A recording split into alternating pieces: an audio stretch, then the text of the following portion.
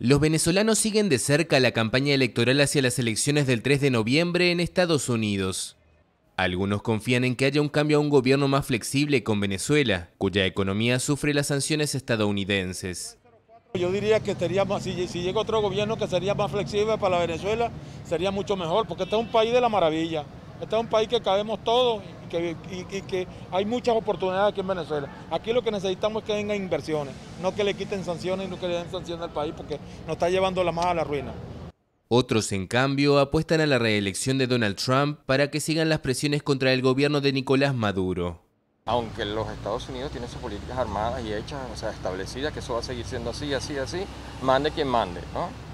Pero mm, hay como que más oportunidad con Trump que con el, opositor de él. Washington no reconoce como presidente a Maduro, al considerar fraudulentos los comicios de mayo de 2018 que lo mantuvieron en el poder.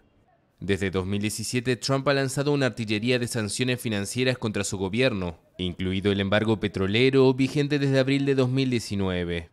La feroz presión no ha logrado un cambio de gobierno en Venezuela, pero según analistas sí ha conseguido exacerbar las calamidades que padecían los venezolanos tras años de malas decisiones económicas y corrupción.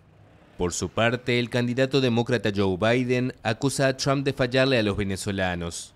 Creo que es eh, la agenda de Venezuela como proceso de transición y el apoyo que ha tenido el el proceso de transición en Venezuela creo que no debería frenar independientemente de cuál sea el, el candidato electo en Estados Unidos.